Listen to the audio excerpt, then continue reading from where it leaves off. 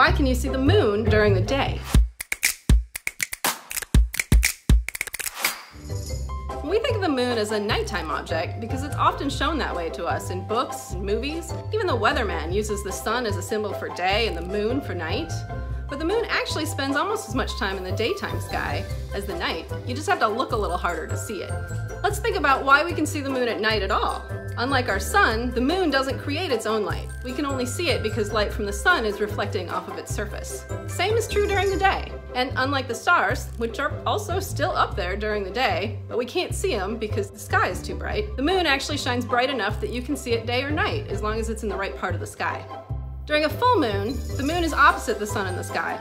That's why we can see the full face of the moon reflecting sunlight. As the Earth rotates, the moon rises just as the sun sets, but just on that one day of the month. In the days before a full moon, if you look in the eastern sky, you can find the almost full moon rising before the sun sets and the days after a full moon, you can look in the western sky and find the moon setting after the sun has come up.